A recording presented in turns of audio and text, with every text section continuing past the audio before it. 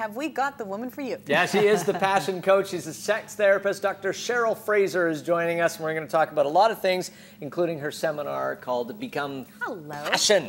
Hello, darlings. How are you? I am great. I don't suffer from the hangover because was I, gonna have passion 365 days a year. Okay, you- what is it about Valentine's Day? The pressure, the everything, that people are in a panic, You maybe it in a right there. It's the pressure.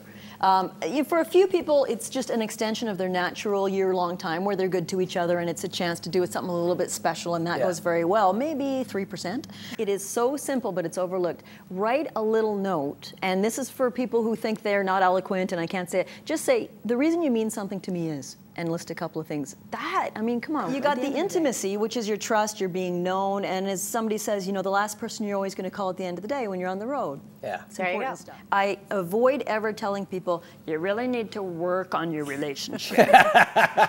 oh, listen. And if you're single, it, you're going to take these skills out, and frankly, you're going to be more judicious in your dating. Yes. You'll be It's a great question because what we find is with marriage therapy and sex therapy, generally people wait seven years. So they've had these difficulties escalating for seven years before they come for treatment, which is obviously a serious problem. And then after an hour or two once a week, people say, well, it's not changing.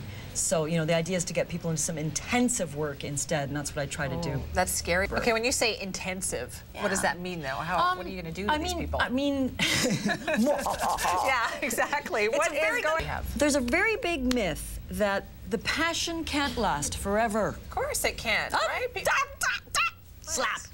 If we work No. on it, it can stay Right, for the right. whole Like I say, it's a bit like saying, oh, this delicious truffle won't taste good today because I've had 400 of them over the past 40 years. Well, that's just silly. But when it comes to love and passion and sexuality, we have this assumption, this terrible myth that, but it's not supposed to last. It's not supposed to feel that good This is normal. So we don't try to uh, recultivate it. It's not dead. It's just sort of slumbering underground, Okay. and we can uncover it.